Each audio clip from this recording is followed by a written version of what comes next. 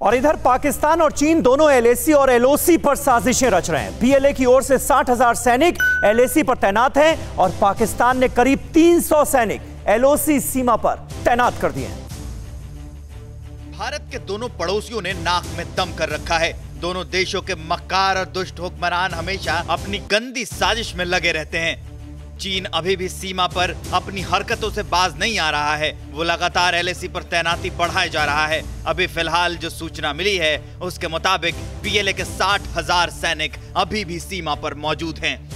उधर पाकिस्तान के साजिश खान लगातार साजिश रच रहे हैं। पाकिस्तान के इमरान खान और टेरर कंपनी के कमांडर ने एलओसी पार 300 सैनिक तैनात किए हैं। ये सभी सीज फायर करते हैं और घुसपैठ के फिराक में रहते हैं। खबरें हैं कि सीमा पार फिर से कई लॉन्च पैड सक्रिय किए गए हैं। भारतीय सुरक्षा एजेंसियों को इसकी पक्की जानकारी मिली है। दोनों देश भारत की सीमाओं पर साजिश रच रहे हैं। इमरान तो ड्रैगन से आगे निकल गए हैं। वो तो ये सब कुछ करके पाकिस्तान की आवाम को बेवकूफ़ भी बना रहे हैं। कराची में मौलाना आदिल की गोली मारकर हत्या की गई। कराची में हुई इस मौलाना की हत्या का इल्ज़ाम पीएम इमरान ने सीमा पार भारत पर लगाया है और कहा है कि पाकिस्तान में हत्या के ज़रिए दंगा भड़काने की साजिश भारत रच रहा है। इमरान झूठे आरोप लगाकर पाकिस्तान के अवाम का ध्यान भटकाने की कोशिश कर रहे हैं। उधर खान साहब की गद्दी भी खतरे में है। सेना ने उन्हें पद छोड़ने पर अल्टीमेटम दे दिया है। सेना के इशारे पर चल रहे इमरान खान को जनरल बाजवा ने कुछ वक्त के लिए और भरोसा देने की कोशिश की है। इससे भी साबित हो गया है कि कैसे खान साहब सेना के मोहताज हैं। क्योंकि इमरान खान को बाजवा ने अपने बयान से फिर कठपुतली खान साबित कर दिया है। सैन्य अकेडमी परेड में कठपुतली खान पर जनरल बाजवा ने कहा कि इमरान खान को पाकिस्तानी सेना का समर्थन है और पाकिस्तान में सेना लोकतांत्रिक मूल्यों की रक्षा करेगी। पाकिस्तानी सेना की सभी कार्यवाही संवैधानिक है। और चीन अब इतना डर चुका है कि सेना के तीनों विंग्स वॉर ड्रिल पर उतर आए। देखिए दुनिया को डराने वाला ये फर्जी ड्रिल।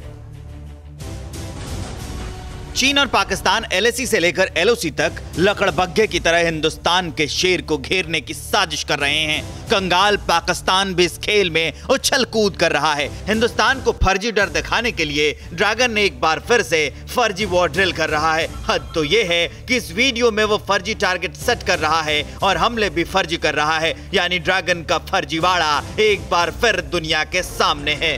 पीएलए गुआंगडोंग आइलैंड पर युद्धाभ्यास कर रही है। इस ड्रिल का मकसद वैसे तो हिंदुस्तान को गीदड़ भपकी देने का है, लेकिन असल खेल ताइवान को घेरने का है, क्योंकि ये ड्रिल ताइवान बॉर्डर पर की गई। ताइवान के तेवर से ड्रैगन की घबराहट है कि चीन की आर्मी, नेवी और एयरफोर्स सब के सब मैदान में उतर गए हैं और वॉर एक्सरसाइज कर रहे हैं। ये पहली बार है जब सेना के तीनों विंग ने एक साथ अभ्यास किया और ताइवान के साथ चल रही तनातनी के बीच उसे डराने की नाकाम कोशिश की गई। गुआंगडोंग आइलैंड पर किया युद्धाभ्यास। ताइवान के सीमा पर की गई वॉर ड्रिल, चीनी सेना के तीनों विंग एक साथ उतरे। जे 15 के साथ किया मॉक ड्रिल ताइवान को डराने के लिए की फर्जी ड्रिल धोखेबाज चीन का ये प्रोपेगेंडा वीडियो झूठ का पुलिंदा है, क्योंकि साउथ चाइना सी में आइलैंड पर उसने जे 15 से मॉक ड्रिल किया, नकली टारगेट बनाया और फिर उसे उड़ा दिया। यानी वो खुद हवा में उड़ रहा है और ज़मीन पर जंग जीतने का नाटक कर रहा है। ड्रैगन का ये पूरा नाटक कल ताइवान के नेशनल डे में ताइवान की ताकत देखने के बाद रचा गया है,